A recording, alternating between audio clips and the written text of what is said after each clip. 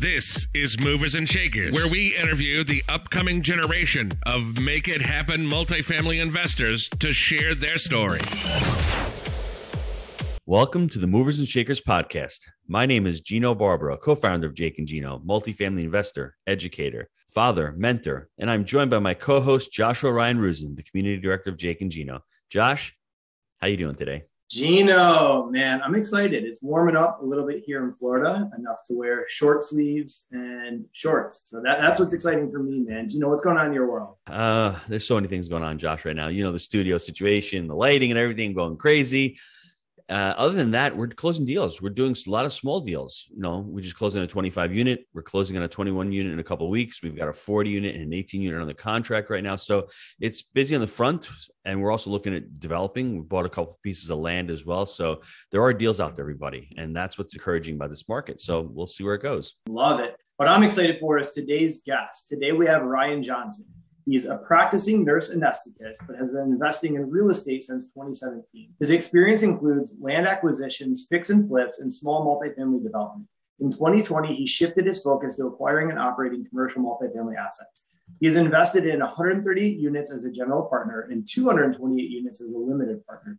He also has six units in the development pipeline for his personal portfolio. Without further ado, welcome to the show, Ryan. Gino, Josh, thanks for having me, guys. Uh, it's an honor to be here. Kind of hindsight's 2020 is like I, I, joined the community a year ago in February of 2021, and it's February 2022, and I'm on a podcast with you guys. So that, that's and, pretty cool. You know what's awesome? I remember, remember when you joined, I got on my first call, and you are a very visual person, and a lot of the students want to know how am I going to get there? What's my next thing? I'm looking at deals, and you had a lot of different things going on, and you're a very high level individual. And I remember there's so many different ways to get into it, and I remember you doing these like little deals, the six units and all. What attracted you to going bigger and, and just taking and pivoting that course and I guess trusting the process? You know, ultimately, like I, I realized, realized the scalability and like larger assets that that was definitely attractive. And you know, I, I realized that I, I, didn't want to just own. You know, I could have continued to buy smaller deals or build smaller deals, and I do still do development in smaller deals. But you know, I wanted to build a company, right? And and a company kind of almost like your company, where you your company owns the assets, your company owns an investor database, your company owns a you know, property management company, so you could almost have like a, a multifaceted real estate investment firm uh, mm-hmm. uh, with multiple arms. And and that uh, in, you know attracted me. It's a much more scalable business model versus just to have you know 30, 40 single family homes. Josh, I pulled a Jake right there. I jumped right into the podcast without asking Ryan about his background, about why multifamily. So please excuse me. But Ryan, just tell the listeners why you selected multifamily because you've got a great career. You're a high level income earner. Your wife is probably smarter than you are. Probably, I should say that because Definitely. she's she is the doctor. So tell us why multifamily? What attracted you to this space? You know, ultimately, I, I, was looking to to pivot out of healthcare, and that that's one of my big whys is to pivot out of healthcare. I mean, I'm in that process now, and uh, you know, just in general, you know, I, like working with partners. I like managing projects. I, I like working uh, to try to improve business systems. And you know, there's some of that in healthcare, but not not a lot of that at my level. What I was doing, and you know, I just um, you know, just real estate in general. You know, a lot of it's to me, it's a much more straightforward pathway to build wealth in real estate. And you know, I'm I'm shooting for to take advantages of like the tax advantages of real estate, especially. So my wife would be the earned income person, and I will be you know the asset accumulator and you know tax deduction person. And what did your wife say when you told her I really want to get into real estate full time? Uh, I mean, she's supportive. I mean, obviously, uh, you know, there there are some questions there when, when you're going to plan. Okay, I'm going to take a major salary hit, and this is my plan. But you know, she ultimately she trusts me. So she's, she's very supportive. What about the people in your inner circle, friends, family members, co-workers? What was their initial reaction? You know, I, I, still get a lot of people like, "Oh, you're crazy," or like, "Why?" Like, "What? You have such a great gig. You know, you work so hard to do it." And uh, but you know, I, I kind of feel like, hey, that's just that's just what I want to do, and, and it's a very great story starter. You know, if if I could, if I'm in the operating room and I'm saying, uh, and I pretty much lead with real estate. You know, in, in the operating room, I'm, I'm talking about uh, doing deals in the hospital all, all the time, and people, it's very intriguing to people. Like, okay, like you're putting these people to sleep, but you're trying to not do that anymore, and you're trying to buy apartment buildings. Like, tell me more. Um, so, so tell me more more about that. I mean, tell me really, let's get down to the crux of why you want to get onto healthcare and get into multifamily? Like, what, what's the big why? You said why, but what is your big why? Yeah. So, you know, I've, been doing healthcare now or in, in, the anesthesia space. I put people to sleep for surgery. I've been doing that for uh, 14 years now uh, with a license. And then I trained for three years to do that. So 17 years total in the anesthesia space, 21 years total in the healthcare space. And about you know, eight years into my current career, I realized just something wasn't right. Uh, I felt like maybe there was a little bit of lack of growth. I was going to be able to achieve income growth, but that is was going to be you know require me trading more time for money in the hospital, working more mm-hmm. call shifts, overnight shifts, weekend shifts, and to me that the trade off wasn't wasn't that great. You know, I was like, yeah, I can make the money, but I, am sacrificing all of my time, and then I don't really even own the business, right? I'm making, I'm I'm working for someone else's business, and I'm getting paid a, a, very nice salary, but ultimately, I don't, I don't want to work for someone. I want to work for myself, and I want people to work for me.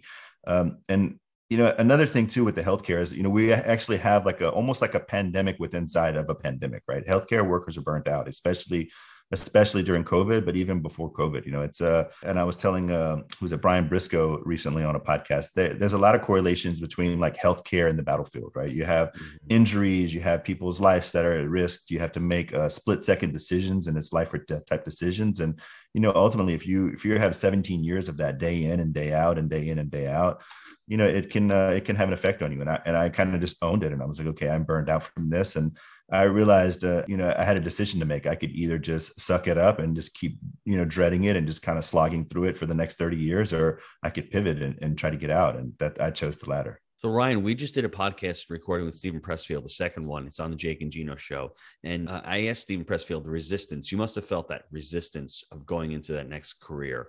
And Steven says he thinks that everyone has that urge or that feeling. We just don't want to discuss it. And for you, it seems as if the resistance or the, the dream that you're looking for is owning your own business. Is that accurate to say? Because a lot of us out there have a dream, whether we become, want to become an artist, whether we want to create our own business. And from you, it it seems as if multifamily is the perfect fit because you have a great investment vehicle. You can shelter a lot of income. You can grow and buy assets and create, you know, generational wealth, legacy wealth others. But then ultimately, that's not the only thing. You're trying to really control your own future and you're trying to control your pay and you're trying to create this amazing business. Is that what I guess multifamily ultimately is is for you? No, I mean exactly 100%. I mean just multifamily but then just real estate in general, you know, you don't have you can you can say multifamily, you can say there's people that do the same thing with hotels, you know, and it's a mm-hmm. you you know, you want to I want a business where, you know, I have people that work for me, I have systems in place um, you know, almost like you, I'm, I'm trying to, you're, you're, you're a mentor of me. And I, I look at the, the, things that you've built and, you know, I, am like, oh, wow, you know, I get it. That, that is uh, reachable for me.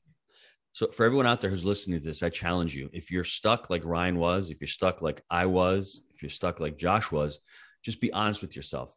Ask yourself the question or listen to the question that I'm about to pose. If there's something you could do in life right now that you're not doing, what would that be? And for me right now, personally, it, it's singing opera. I don't know why. I just like to sing opera and I'm doing it every week. And it's something that I never thought I had resistance towards it. And if that answer brings up a lot of resistance, maybe there's some something that you need to reevaluate in your life and put some more effort towards it. And we're all going to face resistance. And l- listen i, I want to my next question may be a, a, challenging one to ryan but your identity ryan is a doctor and this anesthesiologist. You're accomplished. You've been doing it for a while.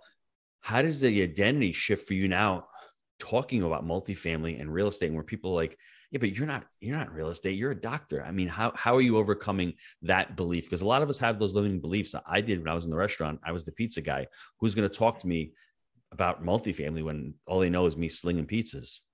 Yeah, you know, I, I, kind of been going that, you know, so I've been doing real estate, I guess, investing since 2018 with rentals and flips and new construction flips and now building these smaller deals. And, you know, I was just talking about it a lot and all, kind of talking about it just to just to share what I was doing because it was it was so fun. I, I, was very passionate about it, and I would be talking like say in the lunchroom or in the cafeteria, just saying, "Oh, look at this rental I bought.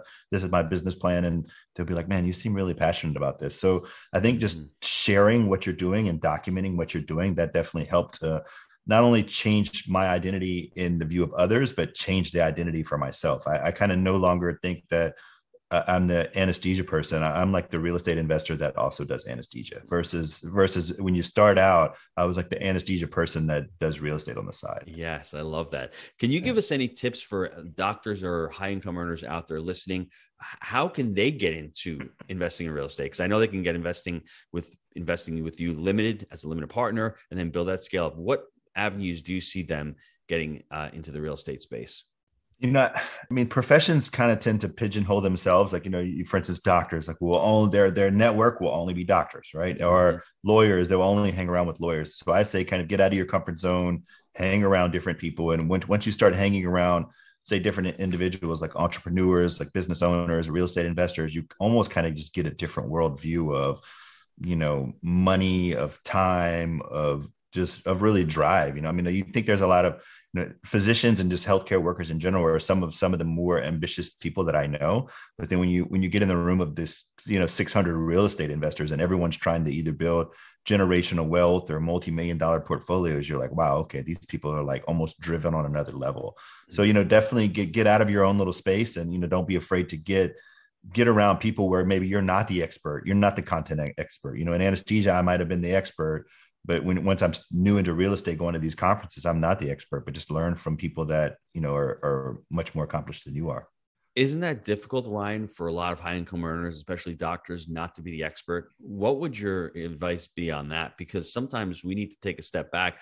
I was in the restaurant business for over 20 years. I was pretty good at it. I once I started learning new other stuff, the ego takes a little bit of a hit. Do you have any advice on that as far as hey, going back and becoming a learner, becoming a lifelong learner and asking those difficult questions? Yeah, I mean, definitely be a lifelong learner, but not just within your narrow field. Be a, a lifelong learner just in general. And you know, you you you want you don't want to be the smartest person in the room. You know, maybe maybe as if you're a surgeon, you're going to be the, the top surgeon at spine surgery, mm-hmm. but you're not going to be, you know, the top real estate investor of somebody that does this full time and you know, earns all their income from this. So mm-hmm. I think, you know, surround yourself by people that have expertise that you don't have mm-hmm. and just add value to them and let them add value to you. And, you know, things, good things are going to happen if you kind of be a go giver versus a taker. Mm-hmm. What problems were, were you experiencing before joining Jake and Gino? Oh, and I, uh, you know, I didn't really have much direction, honestly. Um, you know, I, I, was investing in deals. I did have one partner that I was doing deals with, and I still do, you know, smaller deals with him today. But you know, I just didn't. Uh, just my mindset really opened up when you when you meet other people that are doing it. You you're around just people that are way ahead of you, or at your level, or just a, a few steps above your level, and just getting the mentorship from not only the coaches but just the other students to just to share their successes and hardships and whatnot, I mean, it's definitely uh, it, it accelerates your growth uh, exponentially. And what was the difference once you joined the community? Uh, did that frustration go away? Did you see other avenues? Did you get the focus come into play as well? I mean, definitely the focus. You know, for for the first six months, I kind of drank out of the fire hose, and you know, you're you're assuming all, you know, consuming all the content and the the education and the conferences and the networking, and then probably six months in, I shifted and I started to get like a little bit more focused and saying, okay, like I think I'm going to be good at this. I need to partner with other people that are good at this. And that's mm-hmm. kind of a that's kind of how I've been operating. Just like try to surround myself with uh, capable who's that fill my deficiencies and I fill their deficiencies.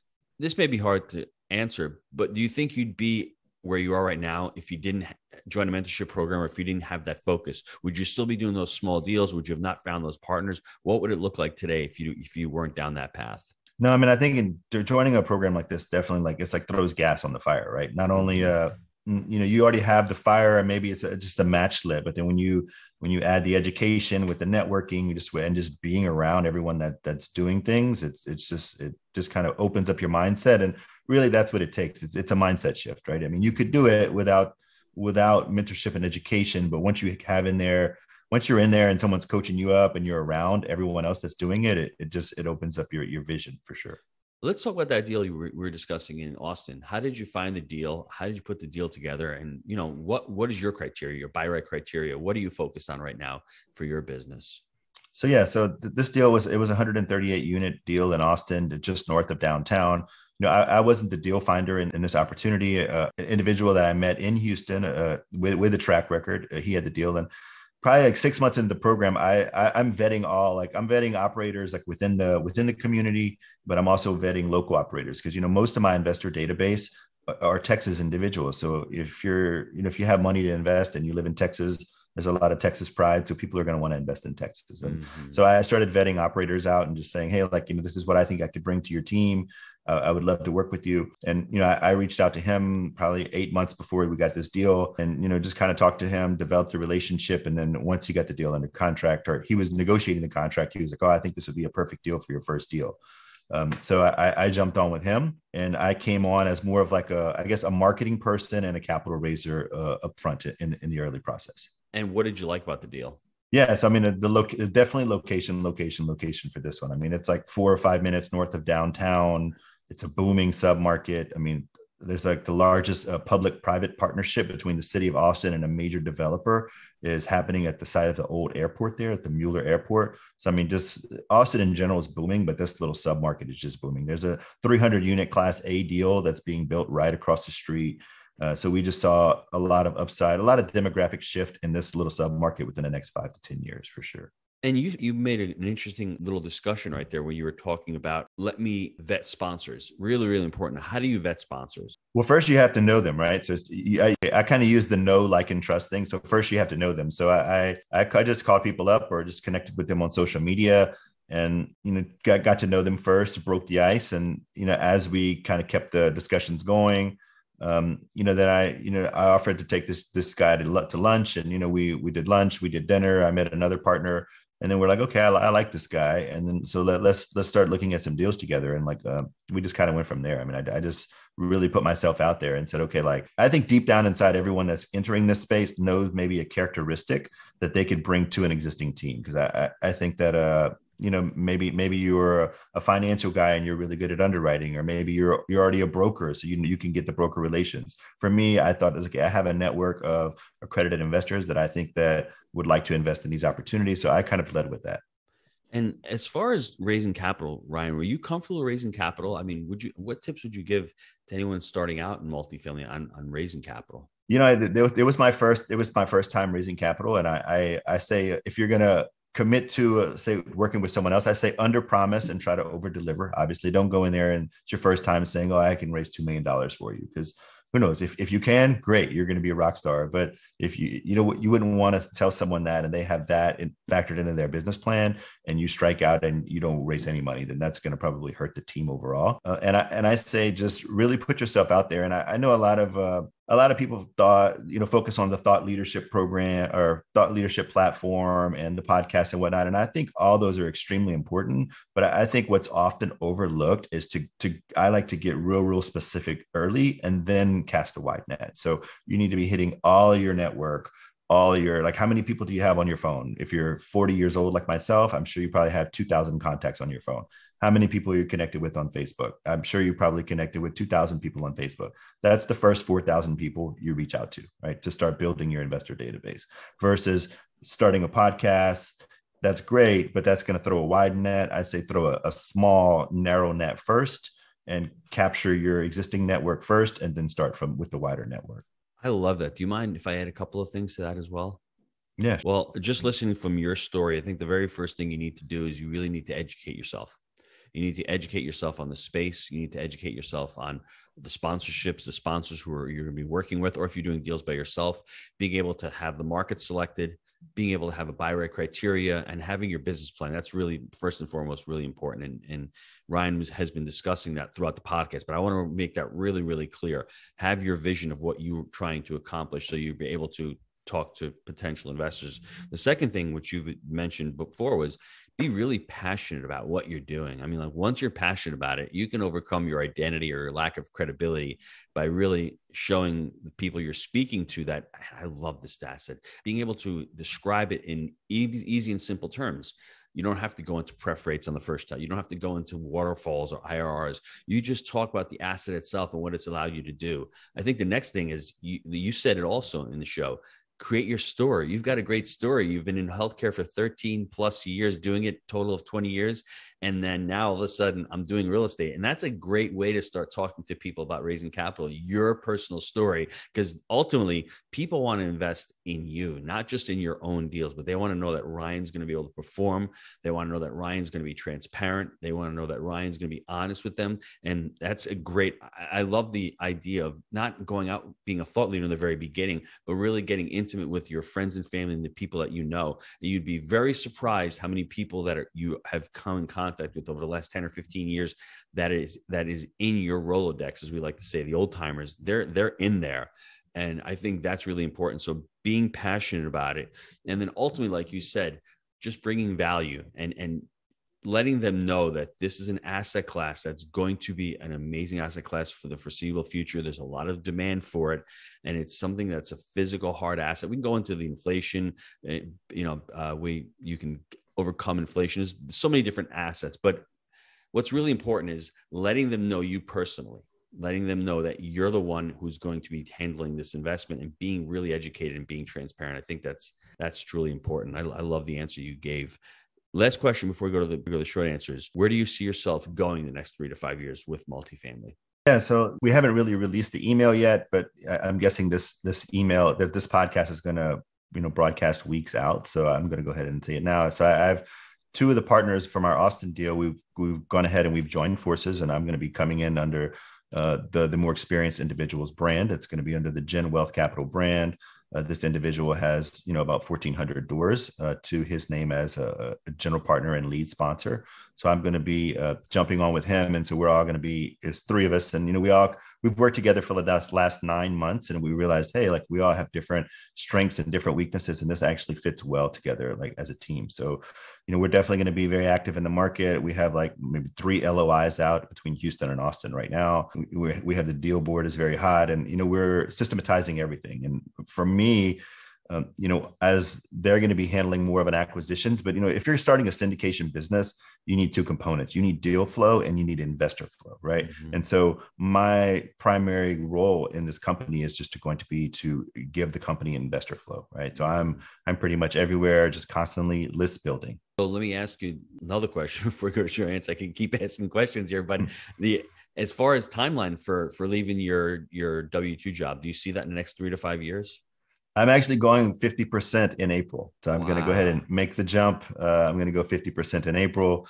Uh, that that'll that'll require me to work two days a week at the hospital, and I'll have you know really three days off during the week to to really focus because I have been doing this you know full time at the hospital and seems like almost full time hours uh, to start out. You know, so I'm kind of doing double double the work, and so it'll be nice to just have some time to really think so this is important everybody. This is probably one of the biggest golden nuggets that you're going to get from the show. You don't have to burn the ships you can take a methodical approach. I did the same thing back in October of 2015. I left the restaurant during the week. I only worked on the weekends and I did real estate full time. So being methodical, being thoughtful, putting in a plan and executing the plan is really important. Proper planning prevents poor performance. You don't have to go out there and quit your job tomorrow and go into multifamily full time or go into single family full time. You can be methodical. And I, I, love that approach because what happens is he's still earning income. He's still got a W 2 job. He's still got some money coming in. And then from there, it's great. But then he's got plenty of time to work on his other side hustle. And maybe for the next six months, Ryan, you're going to be working 65, 70 hours a week. You're going to be in the grind. You're going to love it.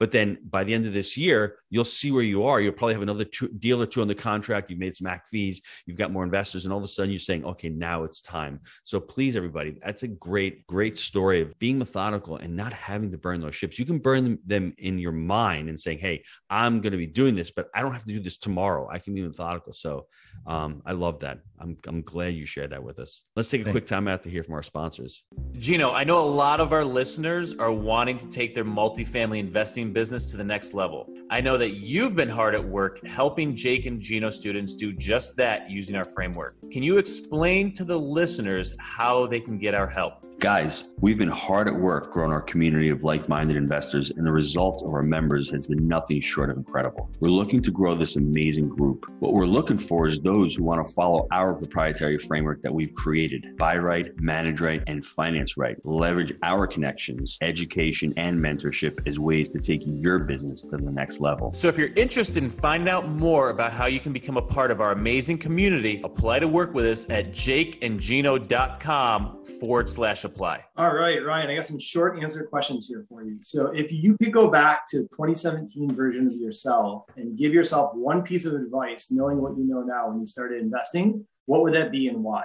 Uh, you know, I would start you know, if you're going to be like, for instance, if I'm going to be coming in as a capital raiser, like I was at the beginning, you, you start marketing early and you start start shifting the mindset and start shifting the story early, and just it's going to be the long game, right? If you're gonna if you're going to say, okay, I'm gonna it's 2022 now, but had I shifted the mindset in 2017, I would m- maybe be much further along than I am now, mm-hmm. and I think I've made a lot a lot of strides in the last year but I would say start shifting my personal mindset. Doesn't necessarily mean I have to join a community or anything like that, but just just make the decision like, hey, I, I'm I'm not going to be a healthcare worker anymore. I'm going to be a real estate investor and just lead with it and just constantly be putting yourself out there. Because the longer you have that identity shift, the longer you're doing it, the, the more people are going to recognize you as the, the new you. And how do you how do you do that though?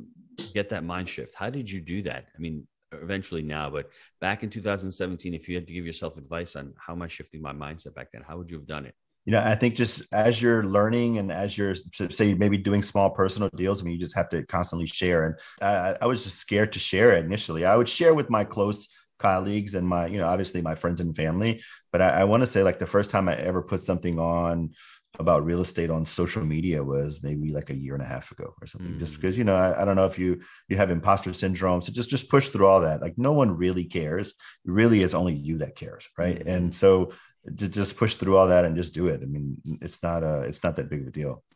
Ryan, I've been doing some research on NLP lately and NLP neuro linguistic programming. They say that we see the world as a map not as the whole terrain. So back in 2017, you may have been seeing real estate as just six single family homes or small development.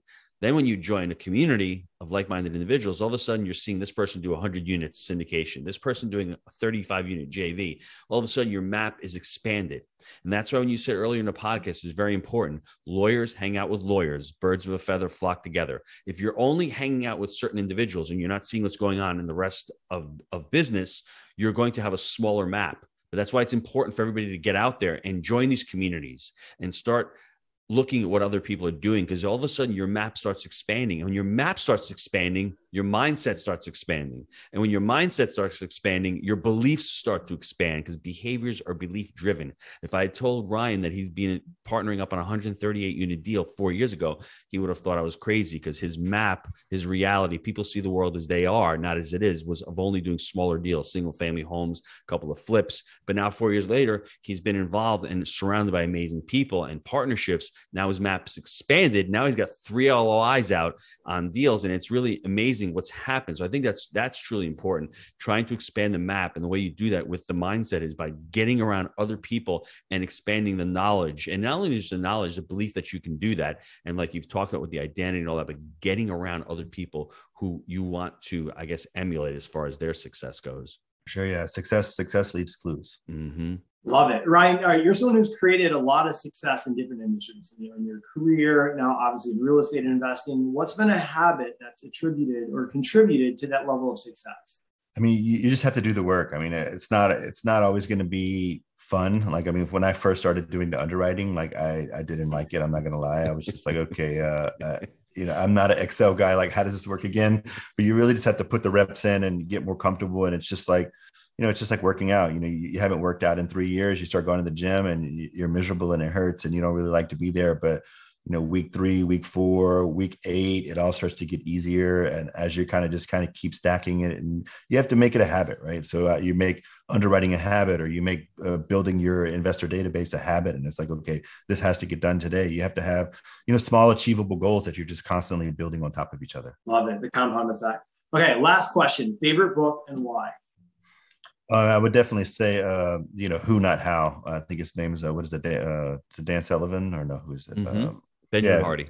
Also. Yeah, okay. Yeah. It's uh I mean that, that's a great book. I mean, I I read that book maybe 8 or 9 months ago and then I kind of just completely changed my perspective of like okay, like I'm not going to I'm not going to try to do everything and I don't have to be the, the jack of all trades. I don't have to be the master of all this. I, I just need to find who's like who, who can help me with this, who can help me with that and then how can I help you? This is what I have. How can I help you? So I'm just constantly looking for who's for me or looking to be somebody's who really because uh, partnership partnerships are key i think in this industry so whether it's like permanent partners like i just like i just developed a permanent partnership or just one-off partners or just partners that can help you with an aspect of the business that that you need i mean you just constantly have to have like your radar out just seeing you know who you can bring on board and you know who you can jump on board with Man, I love that. All right, this has been a pretty impactful episode. Gino, give us some of the golden nuggets you're able to fish out well, the importance of joining a community. We were on Toastmasters one night, Ryan, and he mentioned the who, not how. So I went down that rabbit hole, and then I had to read the gap in the gain.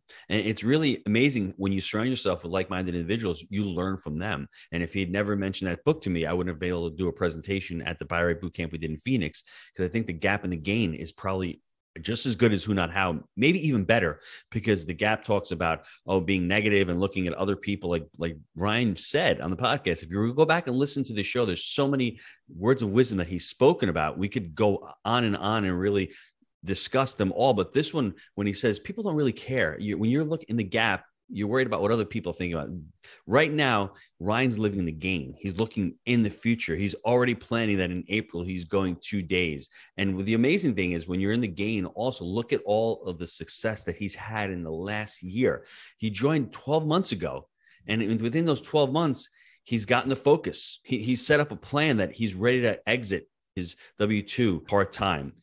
He's created a partnership. And more importantly he's learned the skills and that the who of what he's going to bring to the table and who he needs to incorporate in his business. So it's been an amazing ride for the last 12 months to see him come on looking at these smaller deals and all of a sudden being focused in and knowing that he wants to create this multifaceted multifamily where he has a syndication company he has a property management company he even has a small development company going on and really being versatile and building out that vertical integration. So, for everybody out there wanting to get into multifamily, focus on what you want to achieve in this business, focus on where your areas of strength are. And when you partner up, who can you partner up with? If you're the if you're the person that doesn't know how to do something, partner with somebody that does, but also know what your true value is. For sure. That's great. Man, yeah, I love that. Ryan, how can the listeners get a hold of you? Yeah, no, feel free to reach out to me. I'm, I'm all over social media, definitely Facebook, Instagram, LinkedIn. My email is uh, ryan at genwealthcapital.com. So feel free to, to send me an email and I'd love to, you know, set up a call and talk. Oh, love it. Well, listen, I want to thank you for being an amazing guest on the show and sharing your movers and shakers story. Guys, listen, if you like the show, please leave us a review. And until next time, make it a movers and shakers week. See you, everybody. Thanks, Ryan. Thanks, guys.